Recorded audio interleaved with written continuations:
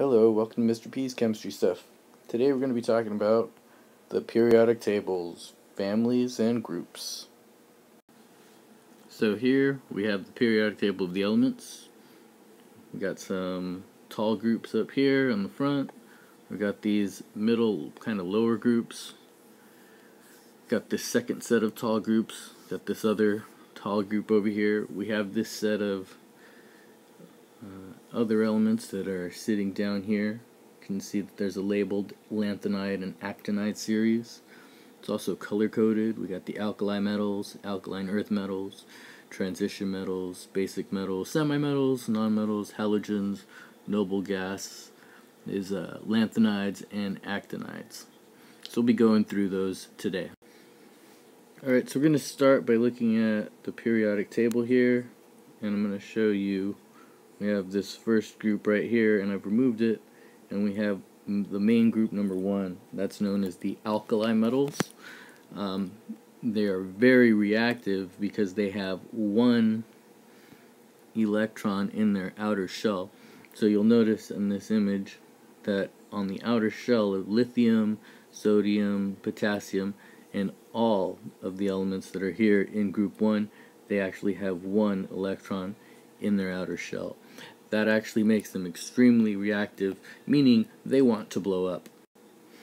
Alright, so the next group right here, it's uh, main group number two, also known as the alkaline earth metals. Let me bring that to the front here. So, oops.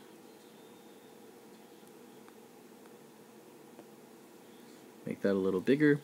So these are the alkaline earth metals, and they are all similar. They're in the same family because they are elements that have one, two electrons in their outer shell. So those outer shells that were in group one that all had singles are replaced in group number two um, by two. So if you notice kind of a pattern here, on the main groups we have one, two, three, four, five, six, seven, 8 electrons in the outer shell. Alright, so this next set is the transition metals, and those were the 10 groups that were in the middle, 3 through 12. And uh, excluding these ones here, a lot of these are elements you would know, um, iron, silver, gold, uh, mercury, zinc. These are elements that have really, really strange properties though, so they're not as uniform. It's the transition metals group.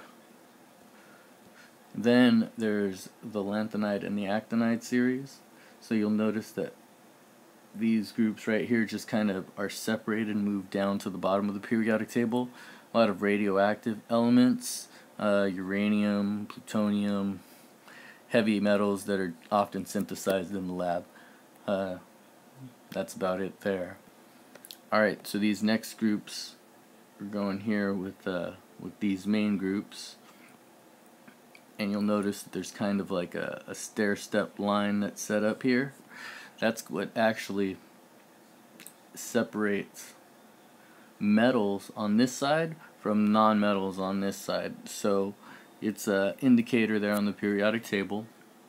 Now main group 13, the elements are going to have three electrons in their outer shell, main group 14, 4, 5, 6, and then they'd follow there with 7 and 8. So that's uh, pretty important there. Carbon, one of the most essential elements for life, is found in main group 14. And uh, yeah, that's about it there. Alright, here in main group number 7 we have the halogens. So you'll notice that elements in this group have seven electrons in their outer shell. So that makes them kind of the opposite of group 1 that had only the one electron in their outer shell. So they're really reactive as well. Very kind of explosive in the opposite way. And then finally we have the noble gases.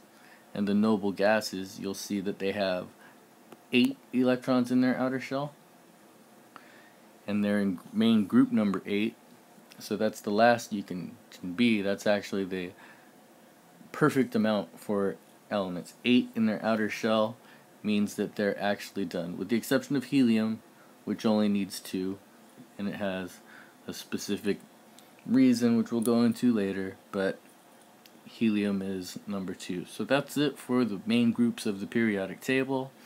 Um, hope it was informative to you. Here we go puppy dogs, because puppies are cute, and you have to end it on a cute note. So there you go. Puppies and the periodic table. The end.